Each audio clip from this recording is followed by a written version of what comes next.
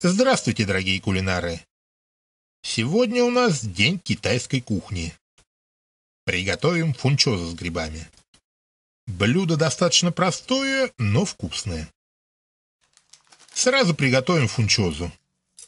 Хотя приготовим слишком сильно сказано.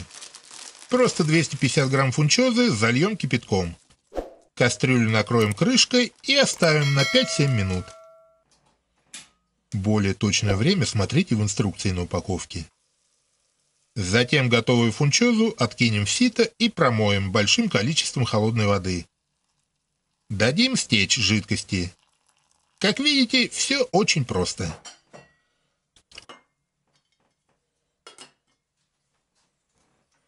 Одну среднюю луковицу очистим и нарежем на тонкие полукольца. Небольшой ликбез для тех, кто забыл, что из себя представляет фунчоза. Это лапша из крахмала зеленых бобов. Часто называют стеклянной лапшой из-за своего специфического вида.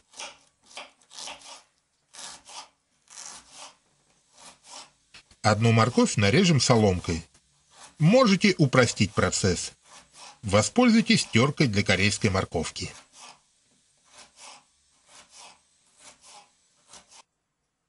На среднем огне разогреем глубокую сковороду и добавим растительное масло. Репчатый лук и морковь обжариваем 4-5 минут.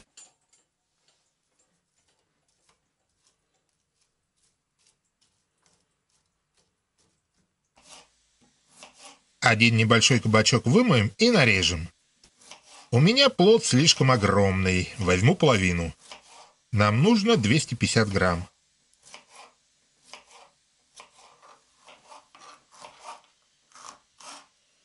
Один сладкий перец нарежем соломкой.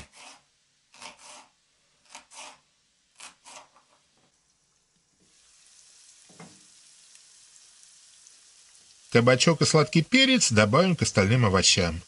Сковороду накроем крышкой и готовим еще 10 минут. Не забываем периодически перемешивать.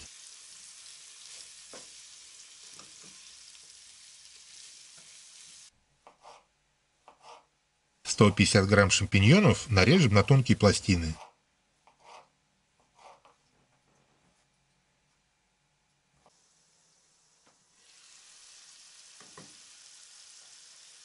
Грибы добавим к овощам и готовим еще 5 минут.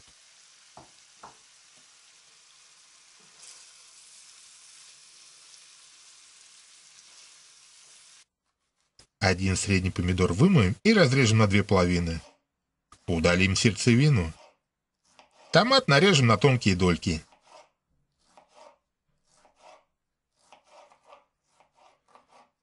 Два зубчика чеснока мелко нарежем. Чеснок добавим к помидорам.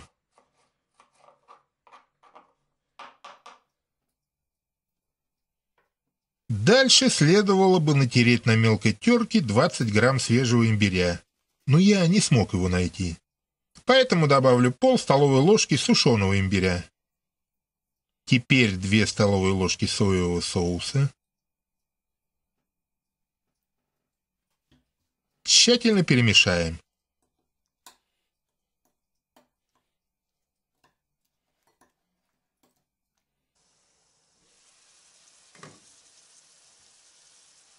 Добавим чеснок и помидоры.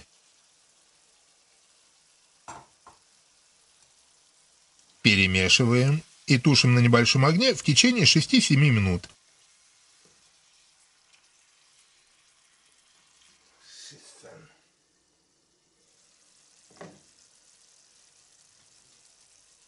Теперь уже можно добавить фунчозу. Посолим и поперчим по вкусу.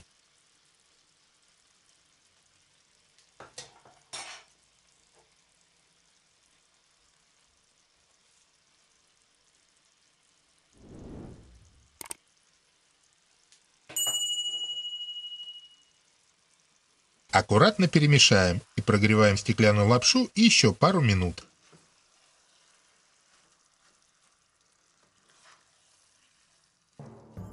Фунчоза с грибами – отличный вариант для постных дней.